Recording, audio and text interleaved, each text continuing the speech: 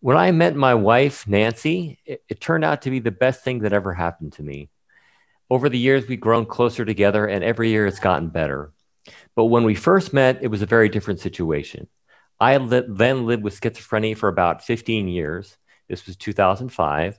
And I was, I believe, very inept socially. I had not had much opportunity to develop strong social skills or abilities and very little experience in relationships at the time.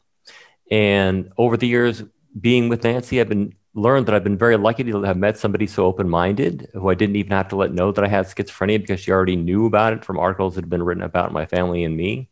And I've learned from um, some really great lessons in life, including that it's important to care about other people, be sensitive to their feelings, and uh, take take their interests over your own uh, when they're a partner for you. Um, when there are times when that's really important to do that. So I've, every year it's gotten better. As I said, we just celebrated, celebrated our 12th anniversary a few days ago. And today we care for a beautiful dog and rabbit. And uh, we have some folks with us today who have a wonderful dog on screen. We'll talk to Jessie in just a minute. Um, but first, as by way of introduction, uh, I want to say that I'm Brandon Staglin, and this is One Mind Brainwaves. Thank you, everybody, for watching today. So grateful to have you here.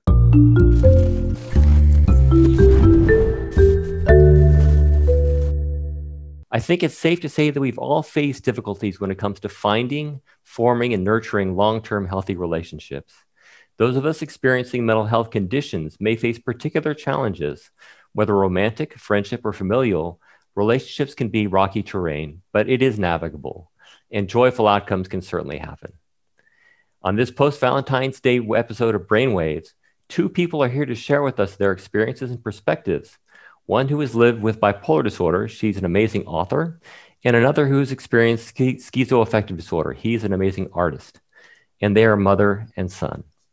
Later, our One Mind Cyber Guide team will tell us about an app that may help you manage your moods and understand them better. But first, her beautiful music has been described as music for the soul. She's also an acclaimed poet and author whose book Start Over Again details her own mental health journey. Her story of recovery has uplifted people all around the world. Joining me now from the hills behind the uh, Sunshine Coast of Australia, singer songwriter Emily Maguire. Emily, thank you and welcome to Brainwaves. Thank you. It's great to be here.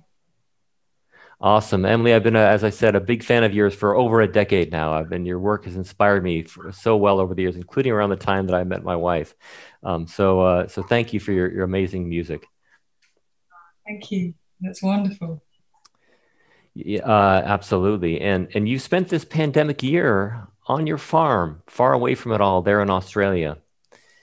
What has that been like? Uh, it's been extraordinary. Been um, it's been extraordinary because I've been in the UK for the last 12 years, living in a tiny flat in a city.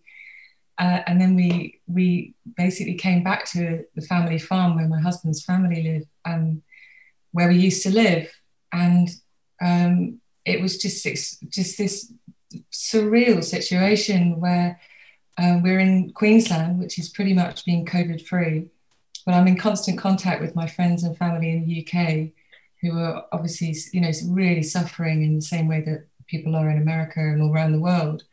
Um, and and yet I'm here living on a farm. There's no masks. There's no restrictions. It, it is it is really literally like I'm living on another planet, and uh, I feel kind of alternately abject guilt and abject gratitude for being here.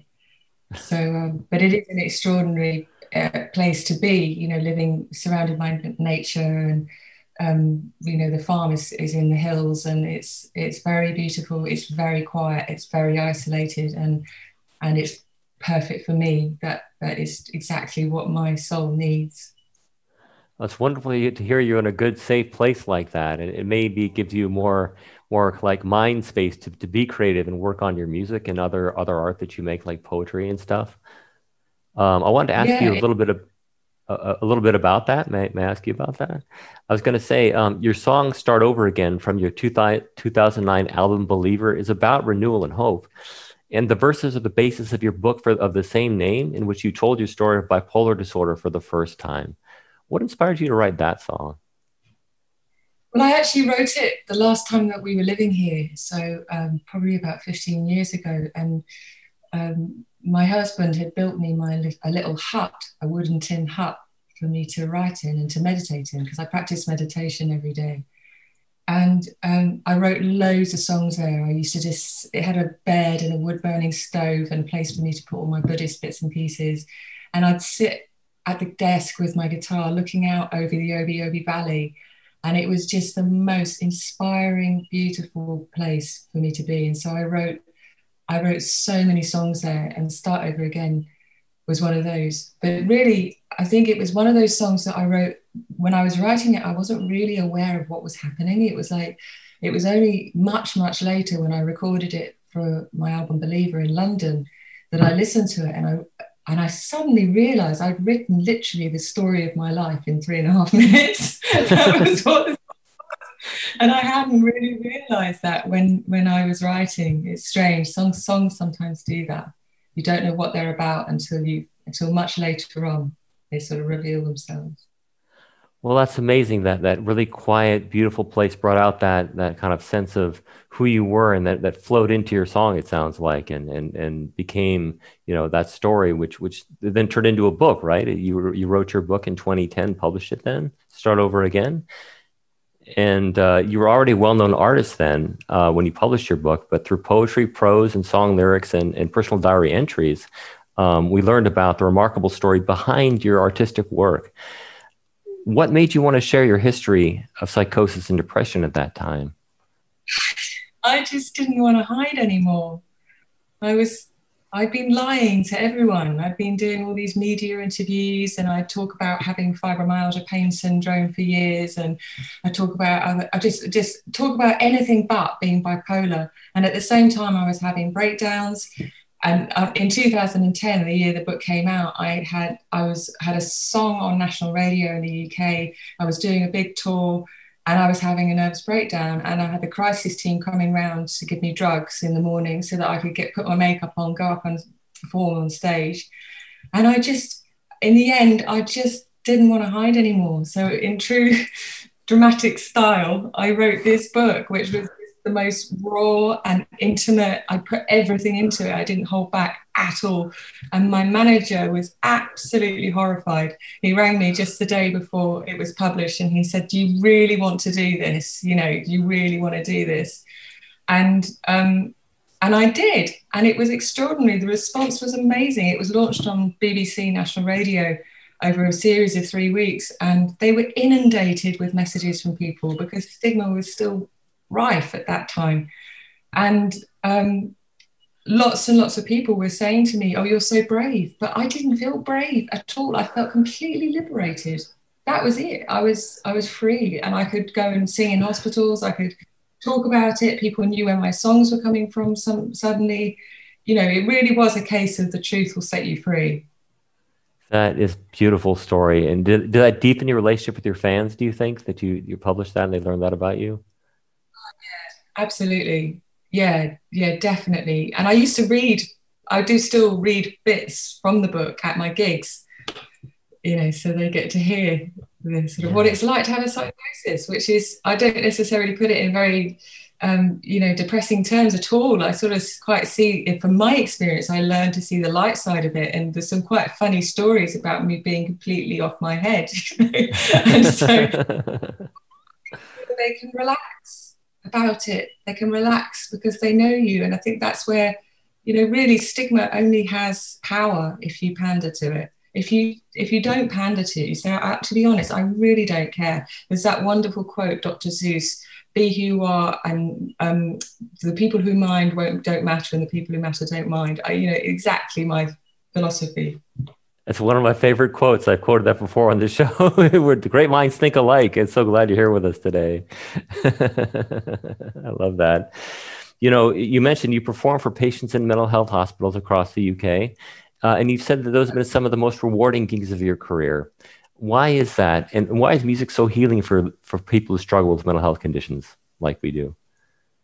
Well, I'd say they're the most rewarding gigs that I've done, possibly because they're the hardest. They some, you know, going into a, a, mental health hospital and performing on a ward for, for very, very ill people is very, very difficult for me because I don't want to upset anyone. I desperately don't want to upset them and make, make it worse. I want to help. My mantra when I with my songwriting is I want to uplift, comfort, and inspire the people listening. That's that's what I say to myself every time I perform. Um, but the reward from it is the reaction. I've, I've had the most extraordinary experiences in hospitals. There was one girl in a hospital in Bath who was absolutely catatonically depressed. She wouldn't speak to anyone, she wouldn't look at anyone. Um, and they told me that the staff there told me that she'd used to sing in the gospel choir. So I went over to her and I said to her, Do you know any Bob Marley? And after we sort of got through, by the time we got through, I think Redemption Song and Three Little Birds, she was completely transformed. She was smiling, looking me in the eye, singing her heart out. And the staff were standing around in the room with their jaws on the floor. They just could not believe it. And I've also done I've done gigs on many dementia wards where the patients know, have no idea what their name is, but they can sing every single word to a song. So it seems that music connects to a part of the brain that's very, very deep, and it's not affect, it's not actually affected by possibly even mental illness, but certainly by dementia. It doesn't. It isn't destroyed by dementia. That is fascinating. That's just amazing to know that, and amazing you can connect with those folks in the way that you have done. And uh, I've experienced a little bit of that myself when I was undergoing my first episode of schizophrenia back in 1990 there were many times when i felt like i was like losing touch with reality i put on my favorite songs that would bring me back and inspire me to keep on fighting in the moment. So i, I think i know where you're coming from. Um, yeah. the last thing i want to ask you before you perform your beautiful song for us start over again is is that hope can be at times in a bit of short supply these days. What words of hope do you have for folks who struggle with mental health conditions well, I'd say um, after my first psychosis, when I was diagnosed with bipolar disorder, I went through all the stages of being completely terrified and then chronically depressed. But then I started to feel a bit stronger and I started to realize that all this energy in my head, it could be something creative. It could be something I could transform into creativity if I chose to. So I would say, from my experience, the best way to mental well-being is to find a creative outlet. It doesn't matter what it is. It could be knitting, it could be writing, it could be gardening, painting, learning the guitar, drawing, singing. It doesn't matter what it is. Just find a creative outlet for all the amazing energy in your head. Mm, I love that. I love that. That resonates with me as well. I love to play guitar myself, and so that, that's my outlet. But um, I think, I think we're together on that. Um, so thank you so much, Emily. Uh, can we hear your beautiful song start over again, please?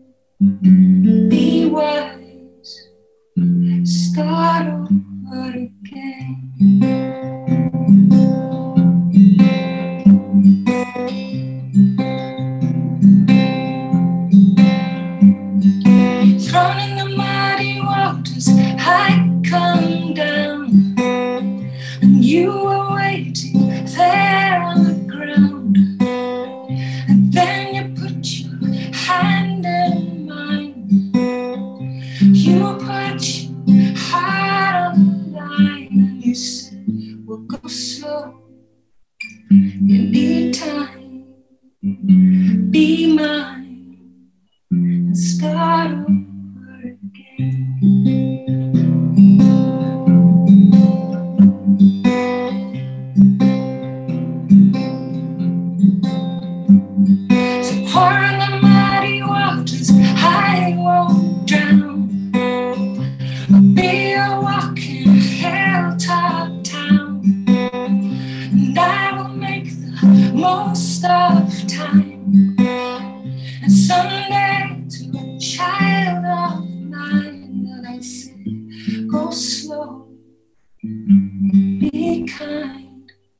Thank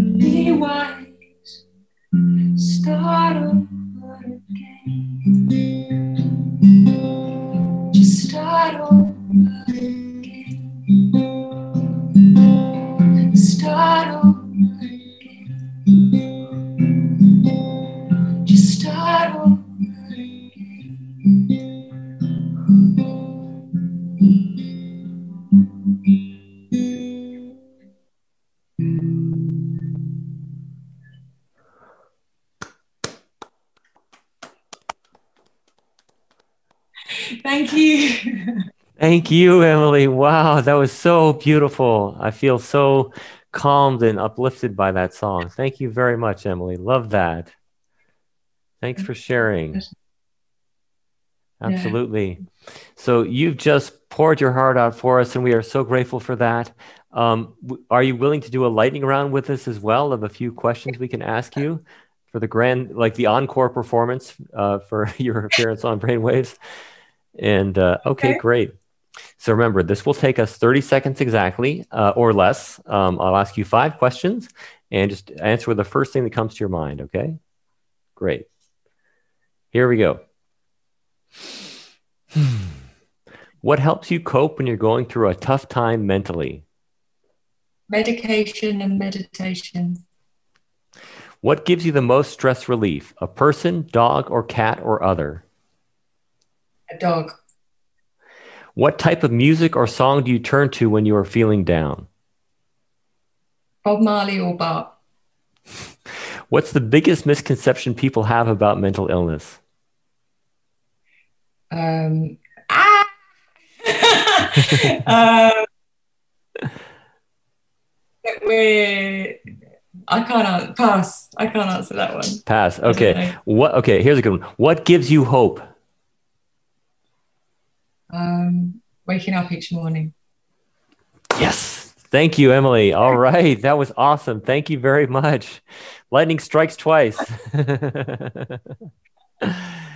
Emily, I really appreciate all that you've shared with us today, your, your beautiful song and your stories and, uh, and the lightning round answers. Um, and I think you'll find you have a lot in common uh, um, with, uh, with Jessie and Calen, who we're going to talk to in just a moment here about their work at fighting stigma and so forth.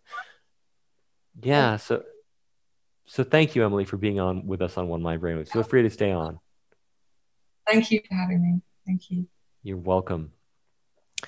So, today we're going to talk to two experts and two people with lived experience they are uh, to discuss some of the challenges that people with mental health conditions face when it comes to building long-term satisfying relationships and the happiness that is possible jessie close is a speaker mental health advocate and author of resilience two sisters and a story of mental illness and also with us is the artist Calen Pick, and he's also Jessie's son.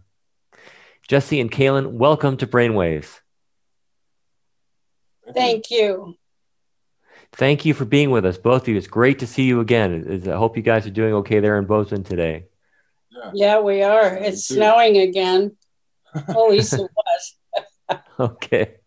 Yeah. Well, I hope you are staying warm there as well. Um, yeah. Absolutely. And, and viewers, don't forget, you can post questions for our guests at any time during the this webcast in the comment section of your Facebook window there. So please, if you have any questions, go ahead. So, Jessie, um, I'll start with you. First of all, I love the title of your memoir, Resilience, and it's an absolutely riveting story. Your story of living with and coping with and surviving what was, what was eventually found to be bipolar disorder. You dedicate the book to your family. It's about you and your family and your relationships with your family. Why did you want to share your story and talk about these relationships when you wrote the book? because I guess primarily it, it, it's a good story, and secondly, I I wanted people who have bipolar disorder or any other kind of mental illness to to see that there is hope and that it's possible to stay alive. And um, yeah that's it well, it, it, totally fits. I mean, it's, it's the name resilience because you have been through so much in your life, trials and, and, and, and challenging times, and you've come through them to be the amazing person that you are today, speaking out against stigma and helping to inspire other people. So I really admire your work. Thank you. Absolutely. Um, Calen, you, you also live with and have recovered from a mental health condition, a schizoaffective disorder. And just to clarify, this means that you occasionally may have symptoms of both schizophrenia and mood disorders. Your mother talks about your story in her book. How did the development of your symptoms influence your relationships with your family and other people in your life? Pretty dramatically, I think. I mean, um, I was uh, about 16, 17 when I started having trouble. Uh, first, it was ADD, then it was bipolar, and then the severity was kind of bumped up and up and up. But um, yeah, I mean, I think it um, mostly for me, it it it affected my relationship with my family in that I would kind of, uh, you know, I think that they were thinking bad things about me and, um, you know, kind of uh, paranoia, I guess. Um, and that, yeah, I mean, that, that was a big thing with my own with my own family.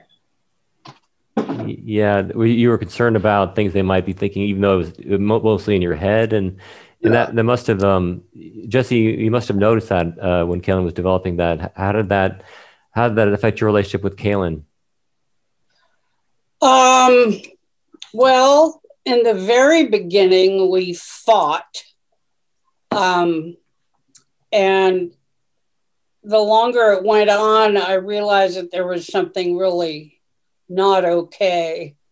Um, for example, we were living in a house. Calen was living in the in the an apartment above the garage, and he came down and pointed to the TV antenna on the roof and said, "Mom, you know what that's for, right?"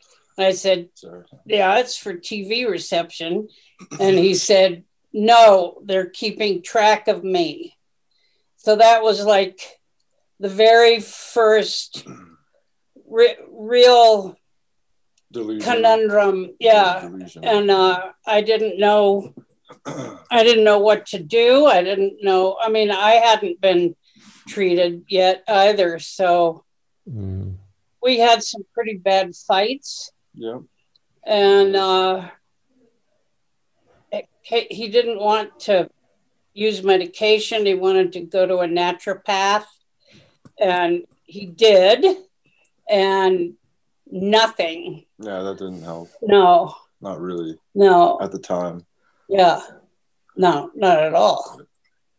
And I think he was on some pill that you had ground up into powder on the floor in your apartment apartment upstairs. Okay. Seroquel, I think it was. Yeah, super sedating. Yeah. So wow. he, no, I don't like this anymore. I want a, I want a naturopath. So I went to a naturopath, and after that treatment was zero, um, I talked to the guy, to the naturopath, and I said, you know, if you have somebody who is behaving and speaking strangely, um, you need to ask that they get help elsewhere. And I don't think it's sunk in with this guy, but anyway. Yeah. Jessie, that was brave of you to advocate for Calen's well-being uh, on his behalf with that that naturopath, and it evidences the bravery that you show in, in many aspects of your life, as I read about in your book. Um, I wanted to ask you, you, you uh, well, first I want to say I really admire that that kind of closeness that you have together um, to take care of each other like that. Um, you talk extensively in your book uh, earlier on in your life about your own history, your own history with romantic relationships, including several marriages. Uh, you discovered boys at an early age, but it was not always a smooth or happy road. What affected your mental health and your struggles to manage it have on your ability to find a healthy, loving, mature relationship? With a husband, I never did. Mm. I I never did. I've been let's see, I left my last husband in 2004 and I haven't had a boyfriend nothing since. And this is probably the most productive years of my life. yeah, I I don't want to take care of anybody. That's awesome. Myself, and that... you know, I have a big family, and everybody's pretty great to both Calen and me. It's true. They're very understanding. That's great to hear you. Uh, you I'm actually deepen your your knowledge, your self knowledge, your understanding of you, how your ins and outs are, and, and your relationships with your family members, which is tremendous in and of itself. Well, I have to say, as an aside, that 2004, I had been to a hospital and I was put on medications that actually worked. And I you know, I didn't no longer had that mania where you try and find somebody and, you know, it, I'm very happy with my dogs and my family. That's great, and and dogs are part of the family too. I think. Uh, oh, yeah. don't, don't, don't you agree? Yeah. yeah, yeah. I love my dog too. He, he's our my wife's and my uh, joy and and and uh, in our lives. So yeah. love him a lot. Cooper's his name. Um, yeah, Calen, um, one of the most challenging aspects to finding a romantic relationship, especially if you're long, young and looking for one, it can be the stigma surrounding mental health. You are now in a healthy relationship, happily living with your wonderful wife, Meg. How did you first meet Megan? And when you first started to talk with her about your condition, how was that for the two of you? Well, I, I talked about it from the very beginning. And I think she had information about it from a friend who introduced us. Um, so she was, and she was, again, from the beginning, very accepting of it. I mean, she wouldn't have put up with uh, any, um, you know, ser- serious issues or anything like that. But, um, you know, she's been, she's been quite understanding. That's great. That's great. Um, and it's it's heartwarming to hear how how um, the two of you take care of each other and nurture each other. Like uh, when I was visiting with you guys um, last year, uh, learned about how you know, she was going through a tough time. You're helping her with that. Um, I, I, love learning about how close you guys are.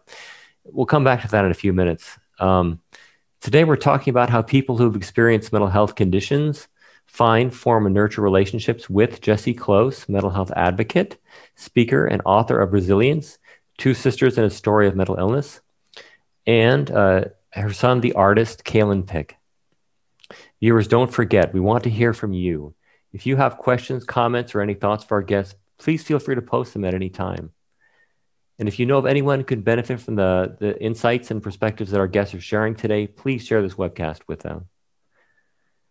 Calen, back to you. Um, so, for those dealing with lifelong mental health challenges, there can be an inherent vulnerability in romantic relationships, but as we were just talking about, you and your wife support each other in, in just these beautiful ways.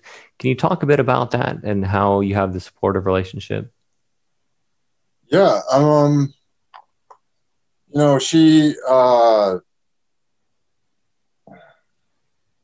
it's, it's, I mean, as far as I know, I mean, it's a, a pretty normal relationship. I mean, um, we support each other in um, you know daily activities as well as you know maybe doing some adventurous stuff. Um, and uh, yeah i mean we just try and communicate and um, yeah support each other in any way we can. That's beautiful. Uh, and uh, um, was she have you had past partners and has she been more supportive than than those Um, yeah, I've had a few that probably weren't as quite as accepting or or supportive. Um, yeah, but but yeah, Meg is pretty exceptional. I have to say. it's great to hear. And you talked about how you support each other at some adventurous things that you do together. What kind of things do you, do you like to do together? Um, we like to go hiking and um, you know skiing camp. and camp and stuff like that. I mean, um, get we like the outdoors quite a bit. Awesome. I totally empathize. Um, one of the first things my wife and I did together, actually, our first date was a hike. We went on, on a hike with some friends, and then our second date was another hike. And so we still love to hike. We celebrated our anniversary a few days ago with another hike. And so it's one of our rituals too. Nice. Yeah, absolutely. Um, so, so Jessie, uh, your sister Glenn Close, the actress, contributes various chapters sprinkled throughout your book and mm-hmm. she served as a strong source of support in your life. Yeah. It, yeah. And yeah, it's great to see that and to know that. Um, working with my family with our, a little bit of support from us, she also founded this amazing nonprofit, Bring Change to Mind, that works to raise awareness and fight stigma and discrimination surrounding mental illness. And you yep. participated in that. And it, it's truly a family affair. Um, and family family focus, uh, family relationships are a big focus of the organization. And it was an honor to participate with you and with Glenn and you too, Calen, all of you, um, in the launch PSA that we filmed together in Grand Central Station in 2009. I still have fond memories of that. Yeah. yeah, go ahead. What were you going to say? I asked her when I saw the prejudice, you can call it stigma, but I think prejudice is a stronger word against myself and Calen, I asked her to please help do something about that. And she did. Uh, she went to Fountain House in New York and uh, kind of started to get the feel of everything. And uh, then she, I think it was your she and your parents um, started bring change to mind. Yeah. Yeah. yeah oh, someone coming in? Say oh. hi. Hi. Oh, hello. Oh, Glenn. Hey, good to see you. How are you doing? Good to see you. Thanks for joining us today. This is our One Mind Brainwaves webcast, and Justine and Calen are on it. I'm so oh, glad you could join us. Say, I just have to say hi because I'm running off to do something with my with Annie. So anyway, hi guys. we'll have to do it. Let's do it again, okay? Yeah, let's let's do that. We're talking about bring change to mind right now, and so hopefully you can come back and talk more about that with us on another episode. Yeah, yeah. and hi to everyone who's on the the webcast. for sure. I'll say hi to my mom and dad for you too, and they say hi back, I'm sure. Please do. Okay. okay. Love to you. Bye. You Thank you. that was serendipitous. Good to see her. Well, she yeah. lived right next door. Isn't it great to have that kind of support and that, that kind of knowledge that your your family's right there with you like that? Yeah, it's been really, really wonderful having her next door her dog comes over and says hi all the time and you know pip. Yeah sir pippin. Yeah. Yeah he's awesome. And uh, i'm sure you give him a lot of attention and love too. Yeah. Okay great.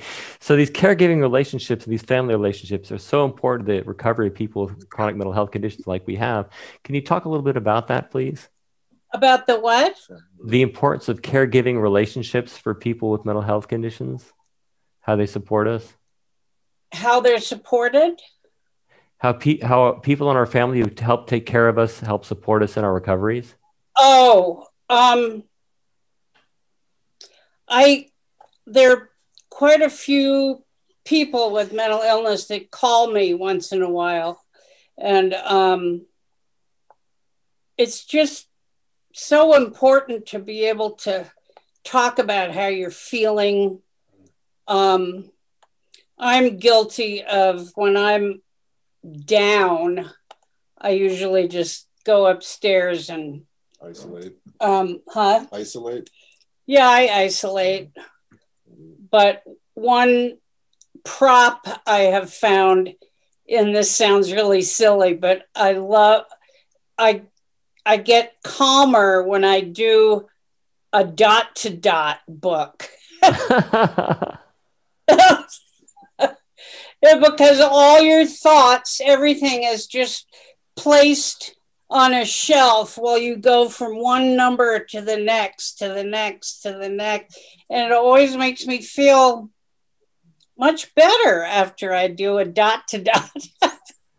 That's great. You have that. That's an activity that brings you kind of back into yourself, I imagine. And yeah, and yeah. anyone can order a dot to dot book. Is it's uh, and then the other day I was feeling really down, but I realized that the weather has been so awful that I couldn't even go outside for a walk. Um, it was what 20 below? it was really cold. Yeah. About 20 below, yeah. Mm-hmm. So the, today's better. Good. These factors can really influence our, our, our mental health. Uh, it, and it must be great to have Glenn, your family so close by. You know, you don't have to go out very far to see somebody in your family for that kind of support. Right. No. Yeah. And I, um, I call them my people, these people who call me and um, we just talk. You know, I mean, two people with mental illness on the phone just talking is a wonderful gift. Mm. Uh, just to go back and forth and well, you know, how are you doing? Now, how are you doing? And you know, More stories. It's yeah, it's it's pretty great. You have that common basis of, of that profound experience that you both share to, to talk about and to and to kind of build upon and share insights about that. I imagine. Yeah. It's great you have those connections that you formed through through all your life. Jessie and Calen, um, as, as someone who's experienced mental health challenges, how has the pandemic affected your capacity to nurture and strengthen your relationships? First, Jessie, and then Calen. Our relationship? Just relationships that you have in your life with people. Oh, um, well, we can. Our family can be around each other without masks. Thank God.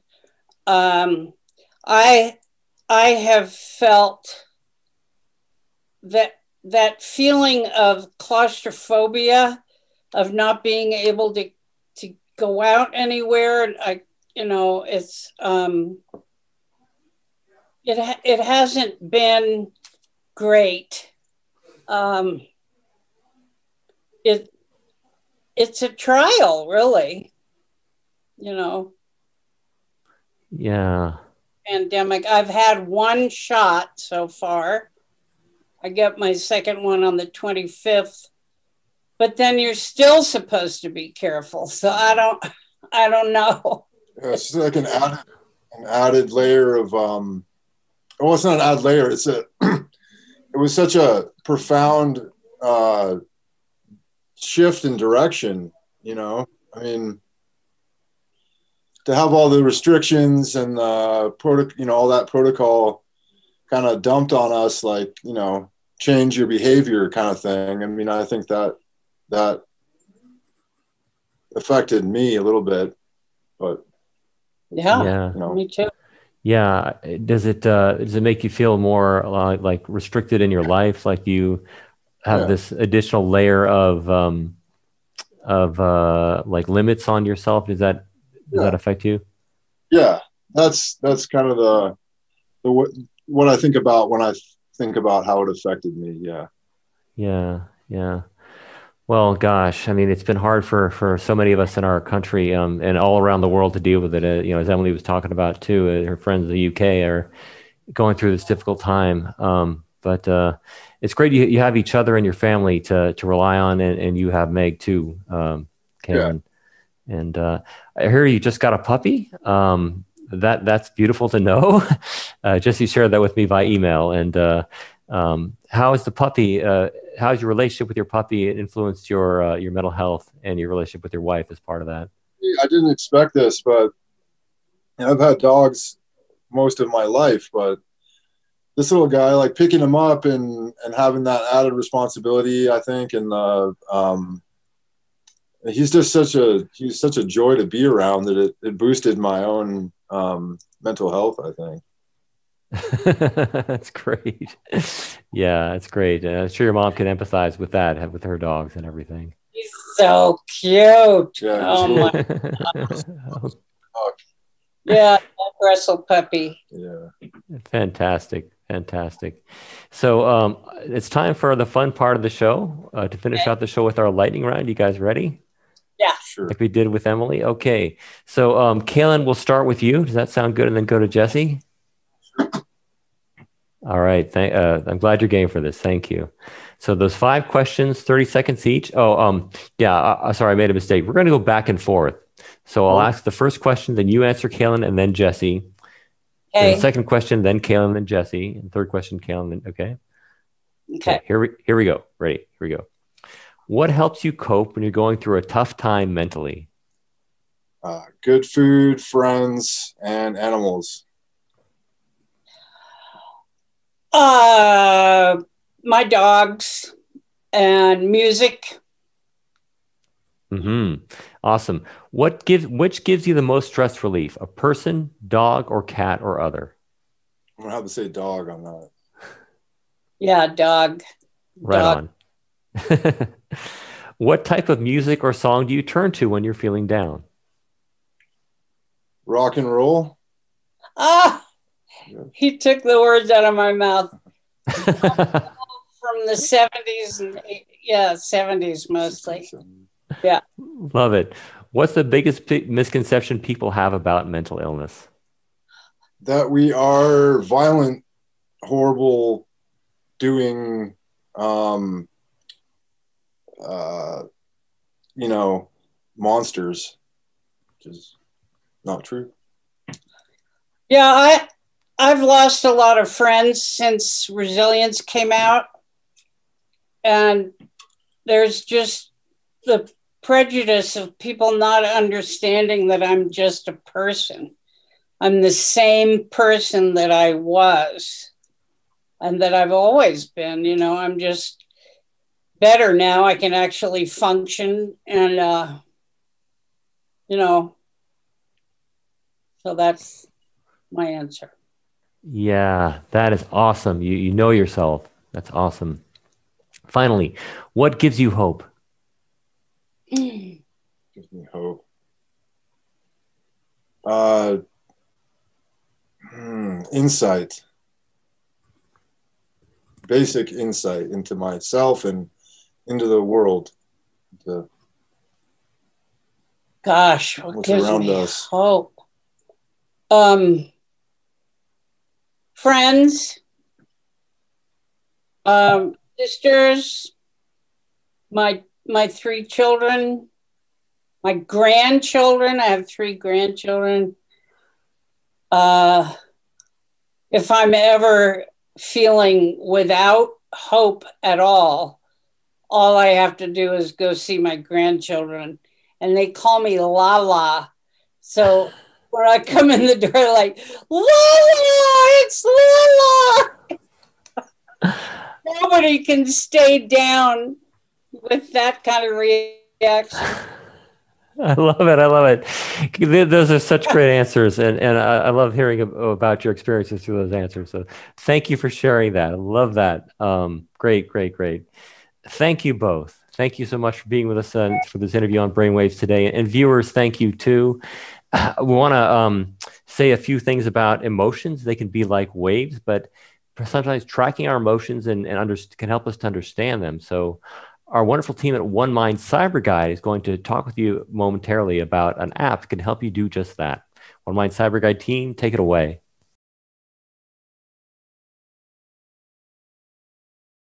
Hello, my name is John Bunny, and I'm a digital mental health specialist at One Mind Cyber Guide. We spend lots of time talking to people about mental health apps, what they like about them, and what they don't like about them. In our research, we've heard from lots of people that one barrier to using mental health apps are concerns about privacy and security. This is understandable, as in some cases you might be entering sensitive private information about your well being which you don't want other people to see. Just like any other technology you use, you should only use apps you trust and are confident in their ability to protect your data. Any app you use should have a privacy policy that informs you about how the app handles your data. In a recent study, we found that over half of apps for depression don't have a privacy policy. You can check for a policy in the App Store at the bottom of the app page. If an app doesn't have a policy or you are unsure of the security of the app, avoid using it. At One OneMind CyberGuide, we review privacy policies to check if key pieces of information about what happens to your data are covered in the policy. We believe developers should be as transparent as possible about how they handle data, so you can make informed choices about the apps you use. Daylio is an app made to help you track your mood.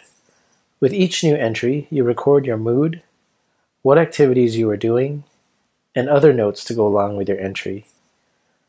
Various activities listed include reading, exercising, and gaming, but you can create custom activities of your own. You can also set reminders to help you consistently enter your mood throughout the day. Over time, you can view statistics and trends related to your mood and activities. You can also review your mood in a calendar view. In Daylio, you can set goals for yourself to help strengthen a desirable habit or reduce undesirable ones. You can further personalize the app to your liking with various color options and various moods and emojis that you create. Upgrading to Premium removes ads and unlocks features such as unlimited moods and goals and infinite reminders. We've reviewed Daylio at OneMind CyberGuide and it scores 3.67 out of 5 on our credibility scale and a 4.14 out of 5 on our user experience scale. You can learn more about Daylio on our app guide at cyber.guide slash Daylio. Stay tuned next week for another app review. Thank you, CyberGuide team. And thank you very much to you, Calen, and you, Jessie, and also Emily Maguire for being with us on Brainwaves today.